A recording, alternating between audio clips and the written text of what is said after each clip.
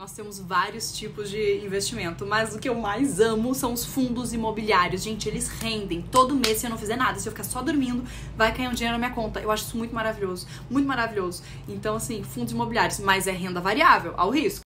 Não, eu tenho só uma conta na corretora e como funciona? Eu defino quanto que eu vou colocar em cada meta. Se eu coloquei 5 mil para obra, 2 mil para um carro novo, 3 mil para escola, na hora de tirar o dinheiro para obra, eu só posso tirar os 5 mil. Eu não posso tirar muito mais.